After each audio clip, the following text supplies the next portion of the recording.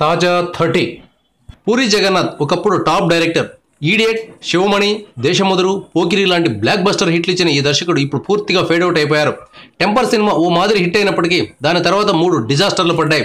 Jyothilakshmi loafer ism సినిమాలు పూరి జగన్నాథ్ను తీవ్రాతి తీవ్రంగా దెబ్బకొట్టాయి ఒక టాప్ డైరెక్టర్ సినిమా తీసినప్పుడు కనీసం యావరేజ్ అన్న టాక్ అయినా రావాలి. అట్టర్ ఫ్లాప్ అనే పేరు వచ్చిందంటే ఇక ఆ దర్శకుడు సినిమాలు మానుకోవడం మంచిదని అర్థం. పూరి మాత్రం పట్టు వదలని విక్రమార్కుడిలా తదుపరి సినిమాను తీసేందుకు ప్రయత్నిస్తున్నాడు. జనగణమణ పేరుతో ఓ కథను మహేష్ బాబుకు వినిపించాడు. మహేష్ ఇప్పటికే బ్రహ్మోత్సవంతో దెబ్బతిని ఉన్నాడు. మరోసారి అలా దెబ్బతినకుండా చూసుకోవాలని పూరికి నో చెప్పాడు. దీంతో మరో పెద్ద హీరో కోసం పూరి జగన్నాథ్ వెతికారు. చివరికి ఆయనకు నందమూరి బాలకృష్ణ తగిలారు.